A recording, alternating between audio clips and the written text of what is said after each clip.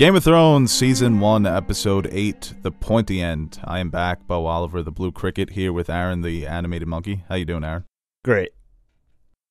Cool. Well, you usually yell at me when I get too in depth. You're like, all right, relax. So I keep it one one word, simple. I don't know why you're screaming. It's really embarrassing in front of the in front of the kids, the children, the fans that are watching. You just want to uh, review Tomb Raider instead? Not really. Yeah, it wasn't that good. It was okay. I'm looking forward to the sequel though, Womb Raider.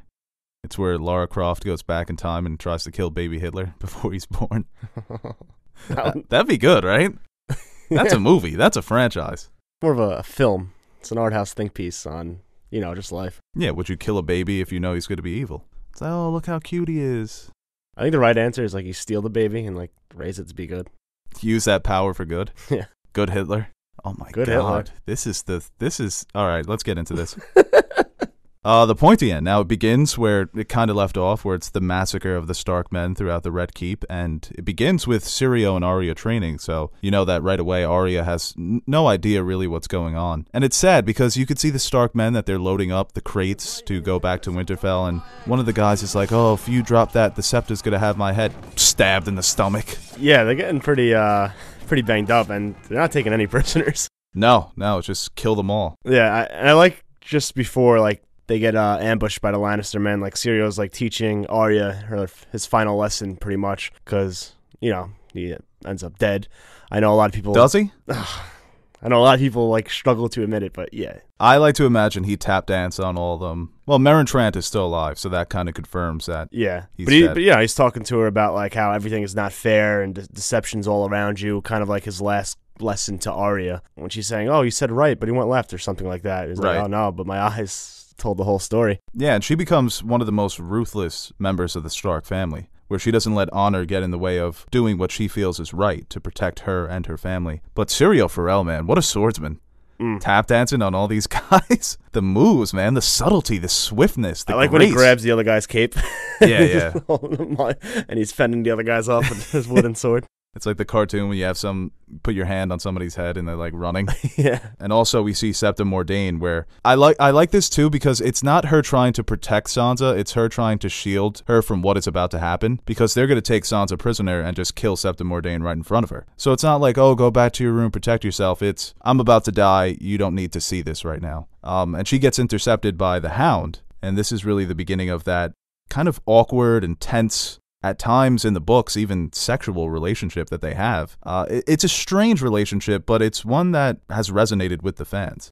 They go too far with that. It's it's makes me sick. Well, George has even admitted that he he plays with that a little bit. Which, but the Hound is is a lot younger in the book. Yeah, I know. and it's it's you know medieval times. Yeah, true. I like how they do it in the show though. It's more that that awkward relationship where it manifests into the Hound actually trying to want to help her at the end, but we'll get to that in season two. And yeah, and that goes right into Arya getting her first uh, body Yeah. out of the way. And I always wondered if she actually did kill this kid because eh, you know little needle to the stomach. I mean, I- Khal got a scratch and he's toast. Yeah, that is true. yeah, it, it's almost inevitable what she's going to become, and this scene kind of exemplifies that. It's kind of like their first experience, like normalizing like killing to survive. Right. It's yeah. something that she does. And it's unintentional. I mean, and well, that guy was be- he's being a kind of a dick. Oh well, he was trying to get Harrenhal. yeah, He was trying to get a lordship. you probably definitely would have got Harold. yeah, yeah, hundred percent. He's like, oh, I'm gonna become the Lord of Harrenhal. Big time dog. And then Varys visits Ned in the dungeons, and I always wondered what was what were Varys's intentions by talking to Ned here. What was he trying to do? Was he trying to get Ned to survive, to really admit his guilt and try and take the black? Was he trying to protect Ned here? I think he's always respected Ned, and I think yeah, because when Joffrey ultimately decides to take his head, you know, he's one of the ones protesting against it. I think Varys could come off to a lot of people as kind of like a you know a bit of a snake, the master of whispers, the spider. But I think deep down he really does care for like genuinely just honorable people. I think he's just trying to do his, his little bit he can to help because he mentions that you know he's not a warrior before when Ned questions uh, Varys about him not doing anything when he there's men are being slaughtered. Like Ned, what's Varys gonna do? do? you want him to stand up and just start taking on the Lannister men for for uh like Ned still can't fathom somebody not doing something honorable and he's in the dungeon and Yeah, and he asks him, who does he truly serve? And Varys says, I serve the realm, somebody has to. Which I always go back and forth on which characterization I like better. Varys in the show or Varys in the books. Because you mentioned a while back that it's interesting that Littlefinger and Varys are like two sides of the same coin, um, where Varys will go to great lengths to protect the realm. He'll do some evil stuff, but he's not necessarily inherently evil. In the books, I think he is. I think he's he's more Littlefinger than he is Varys on the show in the books, where his motivations are very personal. Well, it's easy to process Varys as him being a Daenerys supporter than in the books him being a young Griff supporter. Yeah. I feel because Daenerys is viewed to the audience. But. I don't think he's a Targaryen loyalist. I think he's a loyalist to anybody he feels would be the best ruler at that time. It depends. It depends on really for, on the book perspective if young Griff is a Targaryen or not. Because yeah, that, in the book, I think he. Well, yeah, it's. then that changes like his motivation depending on who or not he is. And I love this little line too when he says, you know, Arya escaped the castle. Uh, even my little birds don't know where she is. this Arya's a. Yeah, you're off the map if that's the case. Yeah. Um, and then we go north, and it's the Night's Watch examining the dead body. And I love how Sam speaks up in this scene, and they're all surrounding the body, and Sam's like, "Where's the smell? Where's the rot? If these bodies have been dead for a couple of days, there should be a smell." And Jeor Mormont's like, "Sam, you might be a coward, but you're not stupid." And I love that little grin that Sam gives. He's like, "Oh, uh, look at me, I'm doing stuff." So yeah, at this point I'll take it. Yeah, right. I'm take- getting nothing. take whatever I can get. And then Jon is informed by Jeor Mormont about King Robert dead. Ned has been arrested for treason. And Jeor says, Don't do something stupid. And to Jon, that's like, Oh, go do something stupid? Okay. It's impossible for the Starks not to do something stupid when they get emotional. It pisses me off, man. I, as much as I love Jon and his arc, I, I wish he was next to Robb this whole time. I always think about that too. Like if Jon would have just went south, met up with Robb, was like his second in command, and then would have got massacred at the Red Wedding. No, he probably would have been like in Harrenhal or something. oh yeah, yeah, Harrenhal, right? He would have went out to piss with uh, Blackfish. yeah. He w- well, he wouldn't have been allowed in the halls because he was a bastard. Ooh, yeah. There we go. And then, and this is a scene um, when Cersei and the small council are trying to manipulate Sansa. What a bunch of fucking dicks. fucking assholes in this scene, manipulating this poor innocent girl. Pyce- Screw over his. Fu- oh, Pycelle's the fucking worst out of all of them. A traitor's seed. Shut up, you old bitch. this is a letter that comes back in season seven, but you know, when you're Sansa, you're in this situation. You're basically you're being led to believe that your father is a traitor. You probably do believe Cersei at this time, but that's Well- still her father. Well, she's still still caught up in the fairy tale life. She's gonna learn quick that it's not all typed up to be. And I love how you, you could see Varys and Littlefinger subtly play the game in the background. Like they're trying, they're giving their two cents in on like what she should do, and there's little subtle movements like Varys calling Ned a traitor, even though he really doesn't believe that, and Littlefinger, you know, putting his two cents in. So Yeah, they're uh, they're keeping up appearances, but they're trying to plant the seeds in Cersei's head. You know, Yeah. go in this direction, go in that direction, and then the letter arrives at Winterfell. And th- this, to me, the dialogue in this scene when Robb's like, "Call the banners," and Luwin's like, "All of them, my lord." I get so hyped. Nah. Luwin gets hyped too. I get hyped too. I fucking I wrote my notes. Robb receives letter and calls his banner. Parentheses shit gets me hyped. He's like, "Have they pledged to my house?" And like, "They have, my lord." well, let's see what their pledges are worth. And this is cool too because in this scene, Theon asks him if he's scared, and Robb has his hand is shaking, and he's like, "I must be." He's like, "Good, that means you're not stupid." They kind of do a callback to this at the end of season six when it's Tyrion and Daenerys, and Tyrion asks Daenerys, "Are you afraid?" He's like, "Well, I, I was expecting Theon in this scene to be like, good." You're in the great game now. and the great game is terrifying. But it, it is terrifying to be Robb in that situation. You know, you're a 16 year old kid. You're still a boy, really, but you have to take on the burdens of being a man, being the leader of the biggest chunk of the Seven Kingdoms. And it would be terrifying. I mean, I wouldn't be able to do that. Yeah, and I like it. and We'll get to it as we talk more about the episode. He's shown to be a strong leader right away, right off the bat.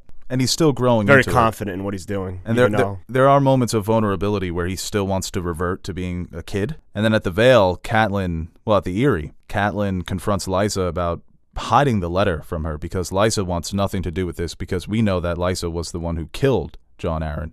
So she has no intention of sending the Knights of the Vale to fight with Robb Stark. And that really would have been the turning point in the war. If Robb had the Knights of the Vale, they crushed the Lannister army. So the Knights of the Vale, that's an elite force it's a big get. you know, she's playing the game as well. And she's just, I hate her. She's not really playing the game as much as she's not going to do anything without Littlefinger giving Yeah. her the go ahead. Yeah, right. She's following orders, essentially.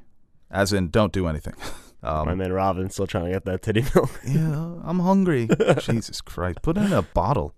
You sick fucks. And I love this too. Tyrion and Bronn just wandering through the Vale, and Tyrion's whistling, and Bronn's like, "Can you shut up?" It every time they're together in like the first two seasons, it's like a comedy show. Uh, there's a video on YouTube where they add a laughing track to all their one-liners, and it's so good. Tyrion tells Bronn, "If there's ever a moment where you feel like you want to sell me out, I'll match the price. I like living." Um, and then they're confronted by the Hill tribes, and it's Tyrion showing once again that he's able to manipulate people and get on their good side. Yeah, he kind of like you know breaks down using like his wit and humor. When he has the line about, you know, how would you like to die, Tyrion, son of Tywin? He's like, at 80 years old, in my own bed, belly full of wine, and a woman's mouth around. like, it's, you know, that's not bad. If somebody guaranteed me that, you know, you get to 80, this is yeah, how you go. I'd sign up for that. yeah, now. I'd take that deal.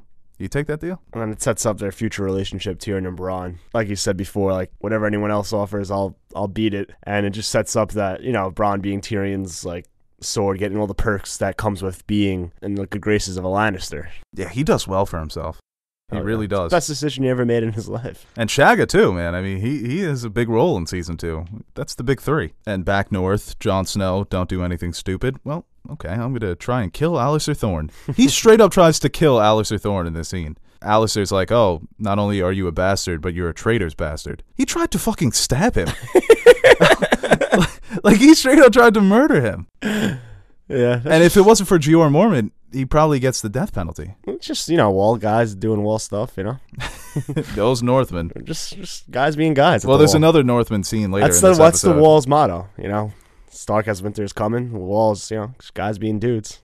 Guys being dudes. Welcome to the wall. yeah, just guy stuff, you know. Jeor puts him in timeout, confines him to his quarters. Yeah, he's lucky. Like, Yeah, he is very lucky. Uh, and this is when Ghost can sense the presence of the white in Jeor's quarters. And this is cool, you know, it's like Ghost, the direwolves are essentially magical beings. They're magical beasts in a sense. Um, so they he can sense, and obviously it's that animal instinct. And this is when one of the main characters that we've been following, where we've known what the threat was from the very first scene, but now it's like one of the main characters is being introduced to an ice zombie, essentially. Yeah, it's first. Well, actually, no. The little girl is the first Right, visual yeah. of a white we get, but this is the first time a main character sees an actual white. Yeah, and just basically it confirms suspicions. So now they actually know this is out there, and Right, before it's been reports, but now it's just it's evidence. you know, luckily enough, grabs the lantern, sets him ablaze, and they find out, hey, maybe fire can stop these guys. Yeah, and he burns himself, so Talk about changes from the books. I don't like, you know, why don't they talk about Jon's hand like George does? Every fucking chapter of every every that line. his hand burned.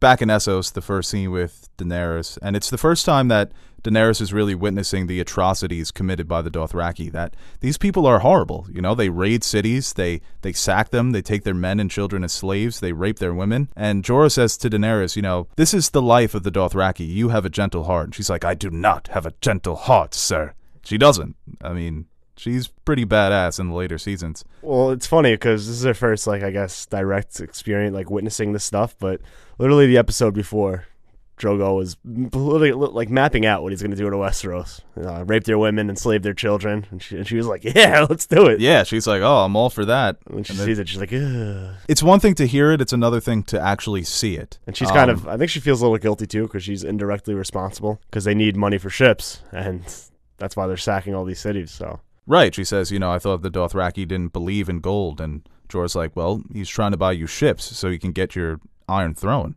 Did you forget about that? And she has that back and forth with Mago, one of Khal Drogo's blood riders, saying that you know, you if you're going to take these women, take them as wives.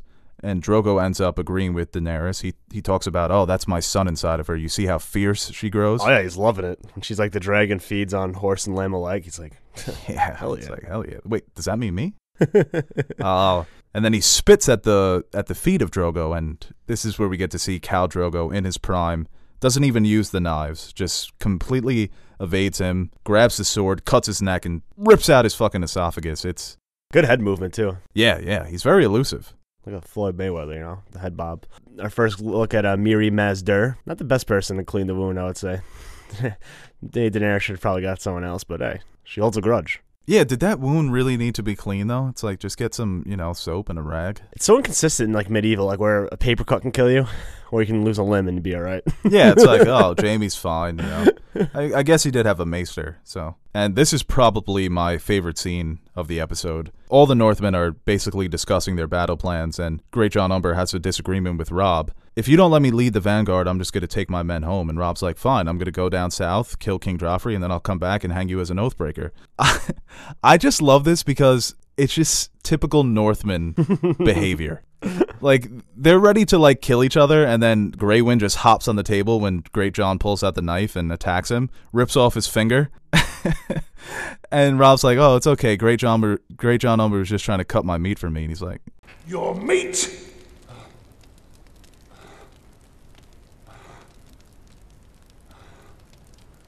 Is bloody tough.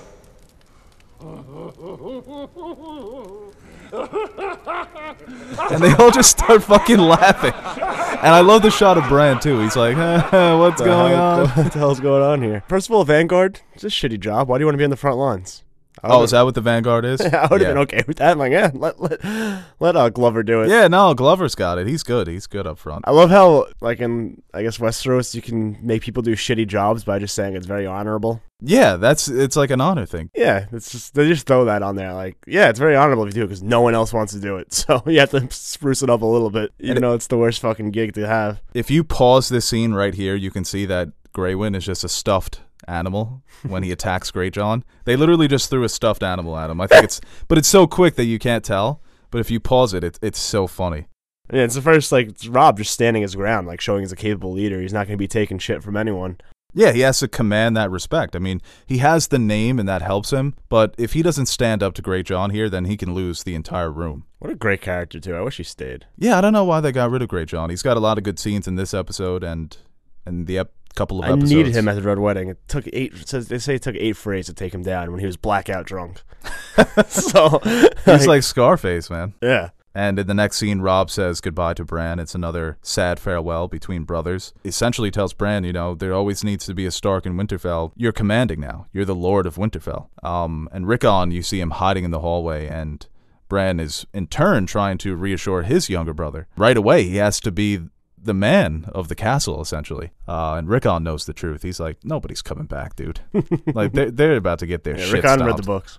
yeah, he's a book reader. We have Osha going out to the weirwood where Bran's praying for his family. She tells him, "Hey, uh, you guys should be marching north."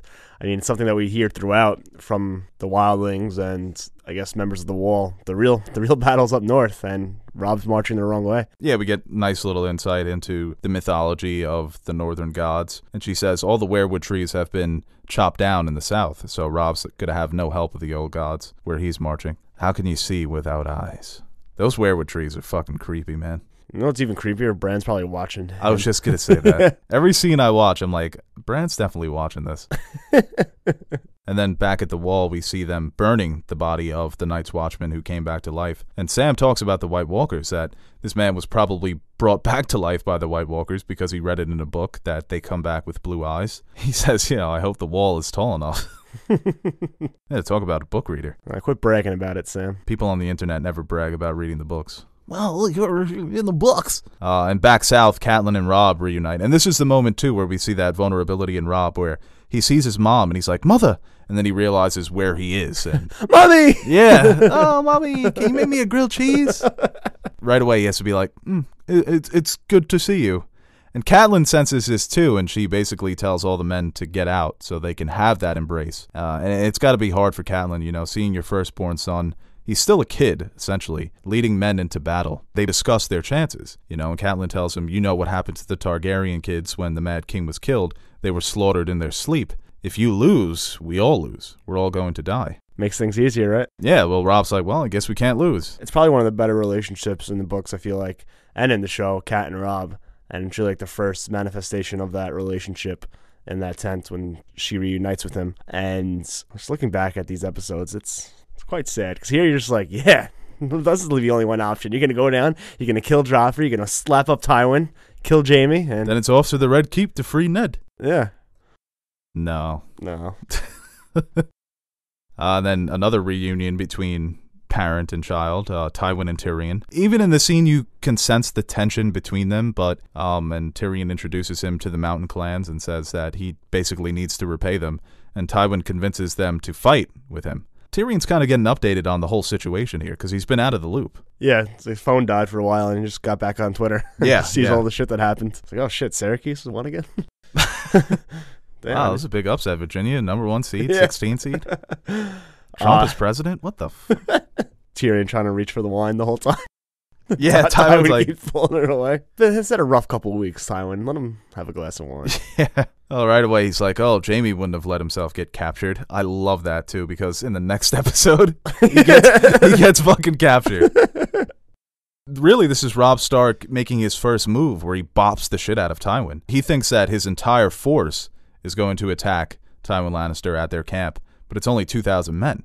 And then he sends the 18,000 men to capture Jaime Lannister's army. So it's a great move by Robb. Everyone was sleeping on Robb too. Yeah, Tywin in the scene, he's like, oh, one taste of battle, he'll go back to Winterfell with his tail tucked between his legs. And Tyrion's like, maybe. Yeah, it's again to show his, his leadership capabilities, his you know strategic abilities too. Sets it up where like at first the Great John's like, "What? Are you fucking crazy? Why'd you let him go?" It's like, eh, relax, relax, Great John. Right, yeah, this is the next scene. GJ, where they- as he likes to call him, GJ? Yeah. Oh, that's what he calls him Yeah. on the side. I- informal. Yeah. Uh, He shows mercy to the Lannister spy, but like you said, it's there's something there's a plan to it. It Yeah. wasn't just because you know Robb is known to show mercy to people. That's the difference really between him and somebody like a Tywin Lannister. It's the first uh, reference of that all important Frey Bridge. Yeah, right. The twins that are just so important to basically maneuvering throughout that area of the Seven Kingdoms, uh, especially in this war. And yeah, I, I, that's the next episode where they visit the Freys, right? Yeah, I always forget how much really happens in these next couple of episodes. Well, there's a Ned lot is- going on in this episode. I feel Yeah, like. where Ned is still alive for parts of this, for parts of the war and the very beginning. Because it always feels like the war really starts after Robb is crowned King of the North. But in this next scene, we see the um, the throne room. We're back in King's Landing. Yeah, it's a And- first look at Joffrey as king, really. Yeah. And it's the first time Harrenhal is given out to somebody. Janos, you want it? Got it. Harrenhal for life. Book it. You're definitely not going to be sent to the wall next season. And then Barristan Selmy is dismissed by Cersei. Now, why do you think Cersei got rid of Selmy? Do you think she was afraid that Barristan was too honorable, don't want to keep him around? No, I mean they're trying to set their people in place. They make Tywin Hand of the King and Jaime Lord Commander of the Kingsguard. Yeah, you can't do that with Barristan still there.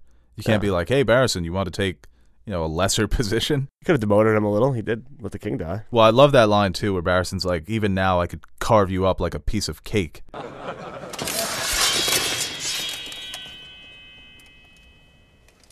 Even now, I could cut through the five of you like carving a cake.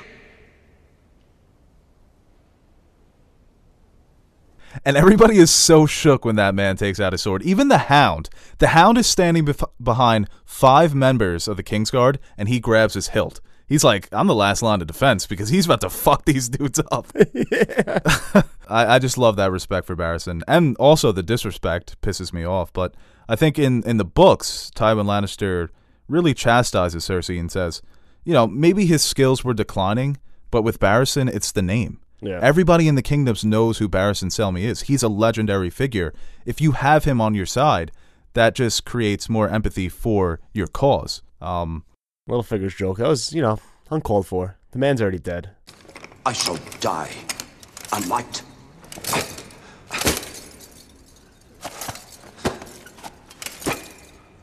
A naked knight, apparently. oh yeah, when he's he says, "Well, you'll be a naked knight." Body's not even cold yet, and you're, you're gonna rip him down like that. Littlefinger just can't resist. and I love the laughing track of everybody in the throne room too. This is a move that really comes back to bite them in the books, uh, in the show. It's I loved what Barristan did when he was with Daenerys, but He can cut up five Kingsguard like cake and have the Hound shook, but a couple noblemen with little knives. No, that's his weakness. Yeah. Everybody has a strength and a weakness. Um, and then Sansa steps up and pleads for Ned's life. She pleads for mercy. This is where Joffrey does promise mercy, but you know you could tell that that final shot when the throne is is coming up engulfing Sansa that it's ominous. Being lied to, being manipulated by Joffrey, who is going to end up torturing her and tormenting her. And I know no one has like any common sense like when it comes to family. Like, oh, how could you still care about a traitor? Like, yeah, it's my fucking dad, you know? yeah, yeah.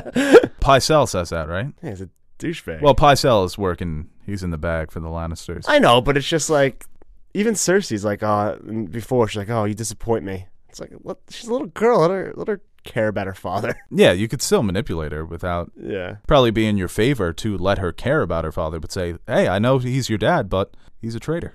I think this is a really good episode. I would probably give this an 8.5 out of 10. Uh, it's a good setup episode to what's to come um, because the next episode is one of the most iconic of the series. Yeah, I think it does a great job of setting up the last two episodes. It kind of a lot happens where it moves a lot of different stories forward. We get to see the conclusion, episode nine and ten, which I think are the two strongest episodes of the season. Well, that's it. That's end of the channel. We're shutting things down. And episode eight, season Yeah, one. episode 8, season 1. This is the peak of Nerd Soup. Can't say I didn't see it coming.